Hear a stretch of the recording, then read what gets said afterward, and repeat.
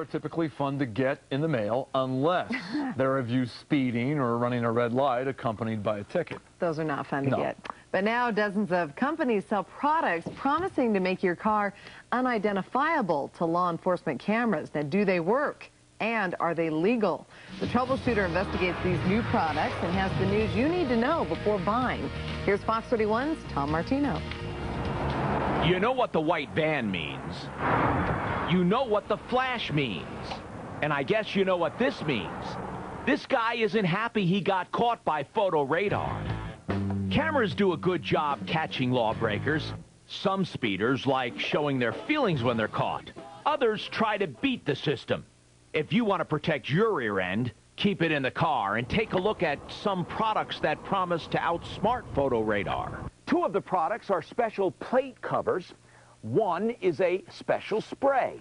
Do they really disguise your license plate numbers? We put these to the test to find out. The Denver Police Department agreed to help us with our test. What we did is we went out to uh, the Denver Police driving track and we set up a uh, simulated 20 mile an hour speed limit. We tested all three devices using the city's photo radar equipment. Did they work? Here are the photos from our test drive. The first plate cover looks like a prism and is supposed to distort plate numbers when viewed from an angle. The second plate cover has reflective sparkles and it did a better job. The flash reflected off the sparkles so the plate number was overexposed in the picture.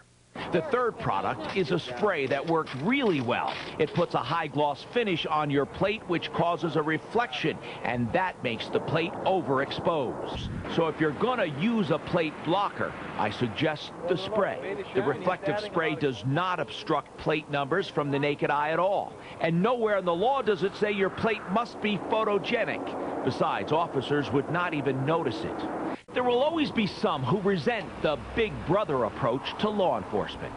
Where do you stand?